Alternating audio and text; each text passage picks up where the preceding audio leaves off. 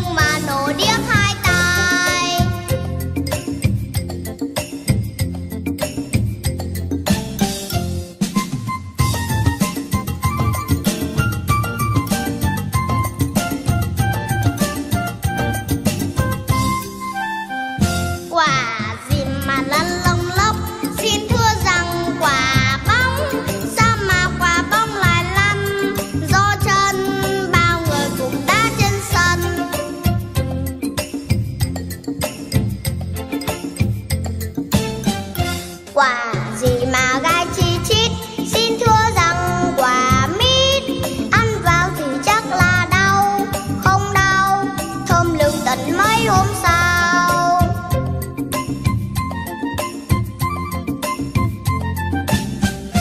Quả gì mà to to nhất? Xin thưa rằng quả đất To bằng quả mít mật không? To hơn To bằng đỉnh núi Thái Sơn.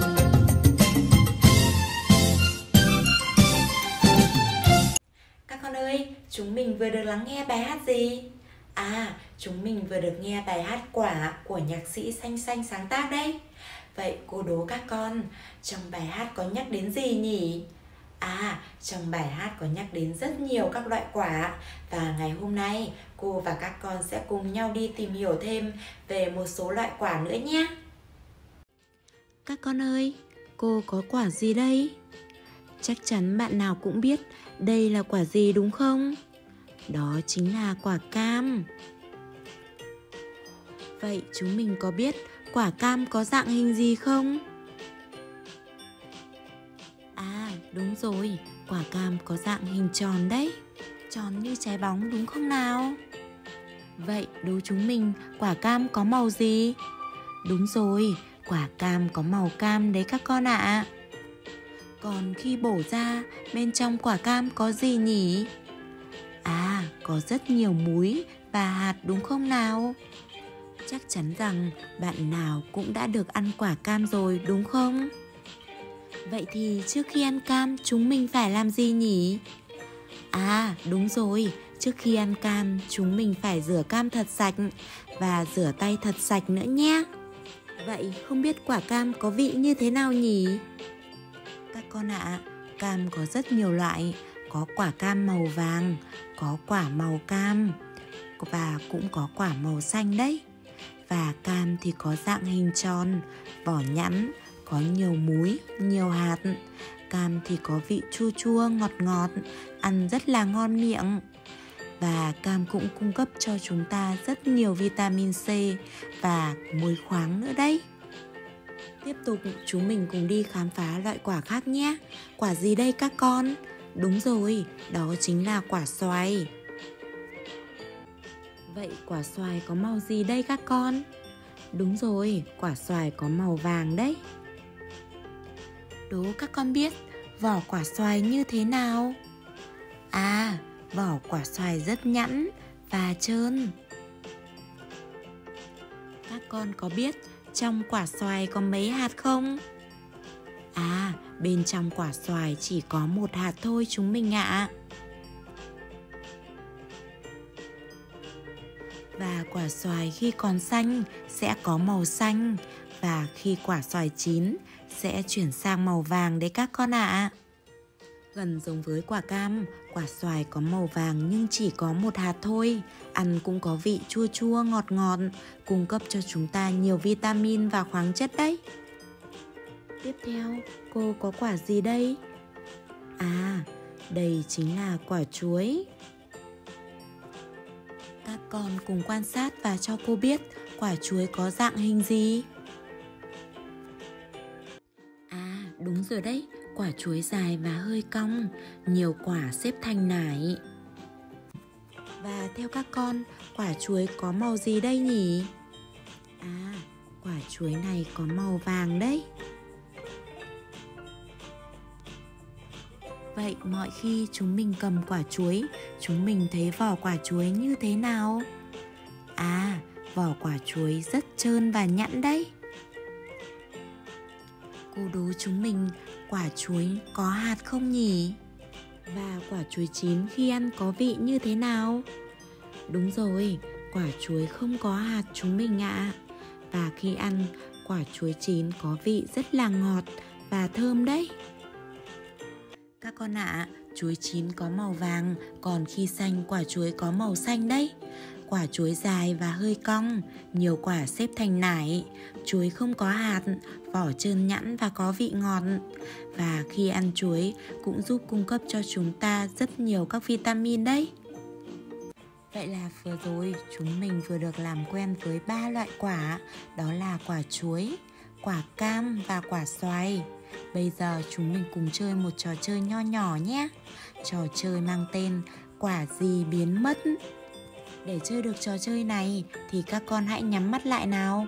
Khi nào cô đếm đến 3 thì các con hãy mở mắt ra và cho cô biết quả gì đã biến mất nhé. Chúng mình hãy nhắm mắt lại nào. 1 2 3 Các con ơi, quả gì đã biến mất rồi? Đúng rồi, đó chính là quả xoài đấy. Vậy là trên đây chỉ còn quả chuối và quả cam đúng không nào? Bây giờ các con hãy cùng so sánh quả chuối và quả cam xem có điểm gì giống và khác nhau nhé. Đầu tiên, các con hãy tìm xem điểm giống nhau của quả chuối và quả cam nào. À, giống nhau là quả chuối và quả cam đều là trái cây. Khi chín đều có màu vàng và cung cấp cho chúng ta nhiều vitamin đấy. Vậy quả chuối và quả cam khác nhau như thế nào nhỉ? Quả chuối và quả cam khác nhau là quả cam có dạng hình tròn, nhiều múi, nhiều hạt, khi ăn có vị chua chua ngọt ngọt, còn quả chuối thì dài và hơi cong, không có hạt, khi ăn có vị ngọt và rất là thơm đấy. Vậy là hôm nay chúng ta đã được đi tìm hiểu về quả cam, quả xoài và quả chuối rồi đấy. Ngoài các loại quả đó ra, chúng ta còn có rất nhiều các loại quả khác nữa. Chúng mình cùng quan sát xem có những loại quả gì đây nhỉ? À, quả mít và quả táo đấy. Tiếp theo còn có quả ổi, quả khế Ngoài ra còn rất nhiều các loại quả khác nhau nữa đấy và quả nào cũng cung cấp cho chúng ta nhiều vitamin và khoáng chất cần thiết cho cơ thể. Và để tiếp tục bài học thì bây giờ cô sẽ thưởng cho chúng mình một trò chơi. Trò chơi mang tên Bé tinh mắt. Đầu tiên, các con hãy cùng nhìn lên đây và kể tên các loại quả nào. Đầu tiên là quả gì nhỉ? À, chúng ta có quả chuối, quả dưa hấu, quả ổi và quả đào. Nhiệm vụ của các con là hãy tìm quả gì dài và hơi cong. Đó là quả gì nhỉ? Thời gian suy nghĩ đã hết rồi. Và đáp án của chúng ta là quả chuối. Tiếp theo, trên đây có những quả gì? À, có quả na này, quả bơ, quả ổi và quả mít đấy. Và bây giờ, các con hãy tìm cho cô quả gì chỉ có một hạt. Thời gian suy nghĩ bắt đầu. Và đáp án của chúng ta chính là quả bơ. Và chúng ta sẽ cùng nhau bước sang trò chơi thứ hai mang tên bé khéo tay. Ở trò chơi này thì cô sẽ cho các con thỏa sức sáng tạo.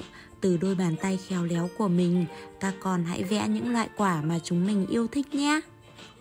Trong khi vẽ, các con cần lưu ý là chúng mình cần vẽ thật khéo léo và tô màu không làm trầm ra ngoài. Chúng mình nhớ chưa nào? Và hôm nay cô sẽ cùng các con vẽ một loại quả. Cô sẽ vẽ quả cam. Chúng mình cùng quan sát cô vẽ nhé.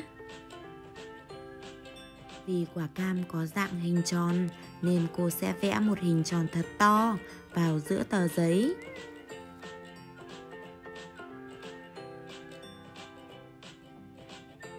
Chúng mình thấy cô vẽ đã tròn chưa nhỉ? Tiếp theo, cô sẽ vẽ cuống và lá của quả cam.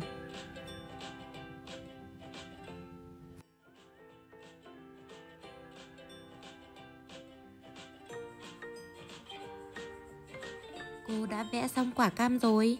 Bây giờ cô sẽ tô màu cho quả cam thật là đẹp. Vì cô rất thích ăn cam, nên cô đã vẽ quả cam. Còn các con thích ăn quả gì thì chúng mình hãy vẽ quả đấy nhé.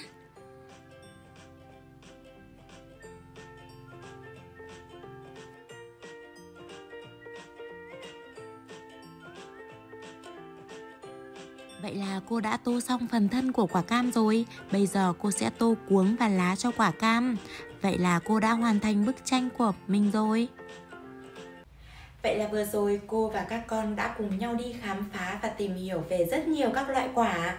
Trong các loại quả có chứa rất nhiều vitamin và khoáng chất có ích cho cơ thể. Vì vậy, trong thời gian ở nhà, chúng mình nhớ phải ăn thật nhiều hoa quả để có sức đề kháng tốt và luôn luôn khỏe mạnh. Các con nhớ chưa nào? Giờ học của chúng mình đến đây là hết rồi. Xin chào và hẹn gặp lại các con.